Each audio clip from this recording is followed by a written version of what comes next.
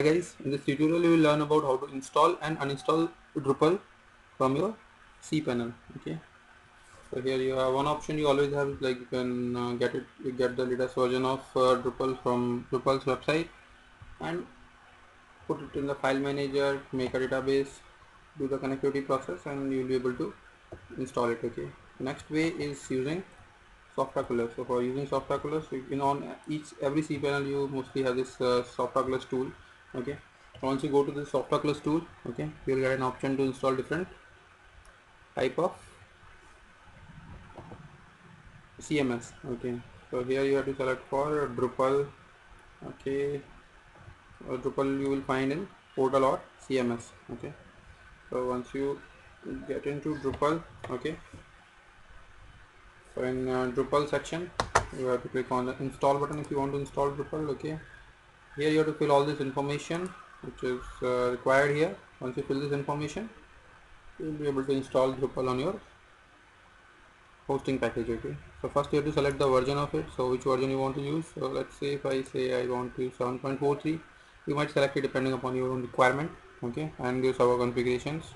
Choose protocol whether you can choose HTTP or HTTPS based on your SSL certificate availability okay? You can even select with www or without www choose the domain on which you want to install it okay?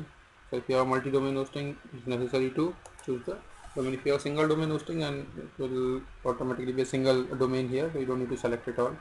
Or directory okay? So what is the directory? So where you want to install it either you on the root directory or in some particular folder okay? So if you want to install it in a folder write the folder name here. This folder must not be existing in your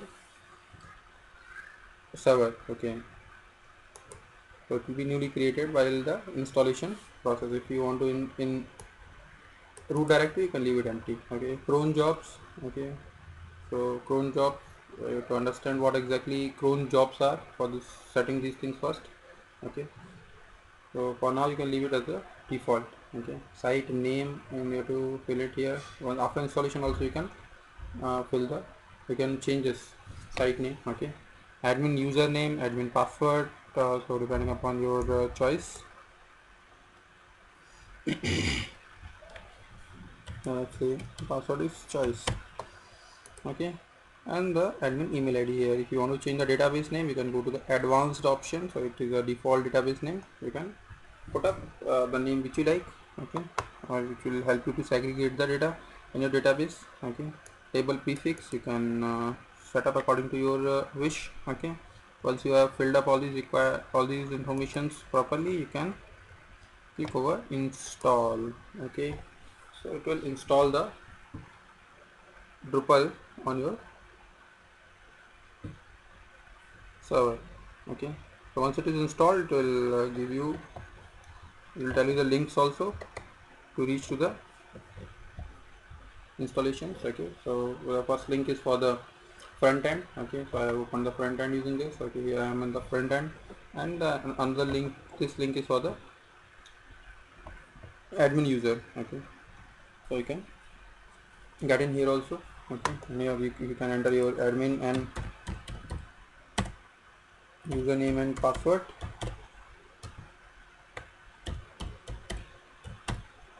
Okay you can log into your admin panel okay you can make changes on your website. Okay thank you. You can put up your suggestions in comment box. Oh, I forgot to tell you about how to uninstall this. Okay so if you want to uninstall it you have to go to again back to the software Softaculous go to the overview section you have to refresh it once to see the recent installation. Okay. Now once you refresh it you will be able to see this thing. You can click on this cancel option cancel button.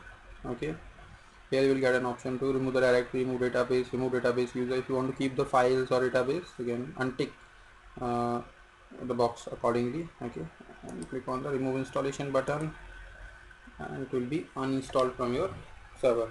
Okay. Yeah. thank you.